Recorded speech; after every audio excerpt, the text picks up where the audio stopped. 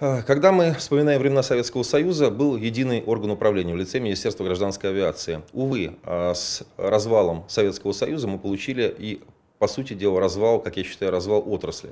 И Владимир Жириновский абсолютно справедливо все эти а, более 20 лет говорит о необходимости создания вот этого единого органа управления. Что сейчас у нас происходит в гражданской авиации?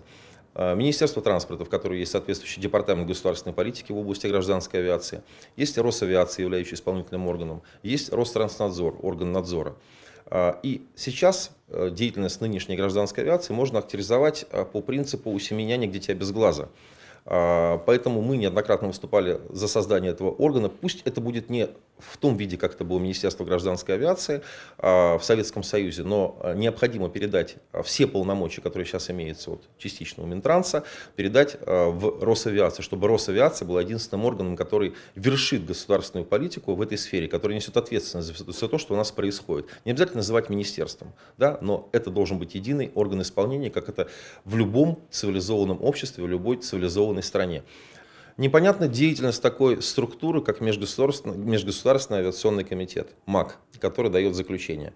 Неоднократно выступая от фракции ЛДПР, я поднимал вопрос о том, что деятельность данной структуры необходимо упразднить. А, один из моментов, который нас более всего смущает, это то, что эксперты не согласны а, с тем выводом, который был сделан по итогам крушения казанского Боинга. Неоднократно специалисты говорят о том, что модификация данных 737 Боингов имеет очень серьезные технические недоработки. Однако МАК сделал вывод о том, что это была ошибка пилота. А, экспертное сообщество с этим не согласно, и ЛДПР всегда привыкло опираться не просто на собственное разумение, а именно на экспертные оценки. И неудивительно, что МАК не сделал соответствующий вывод э, из этой, авиационной, из этой авиационной катастрофы.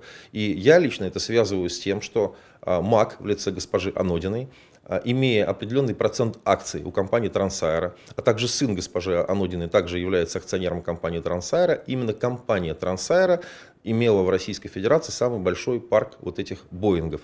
Поэтому э, мы видим здесь абсолютно отчетливый конфликт интересов, как можно делать какие-то выводы, если ты имеешь непосредственный интерес к той или иной авиационной компании. В данной ситуации, как я уже сказал, это компания Трансайра.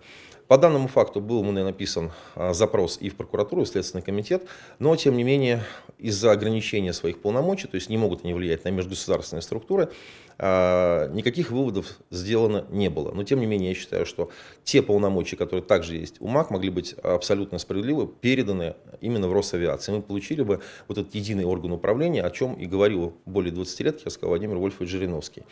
А, помимо всего прочего, еще в бытность а, премьер-министром Владимир Владимирович Путин а, ставил вопрос правительства Российской Федерации о том, что нужно сделать, чтобы систематизировать работу этой отрасли.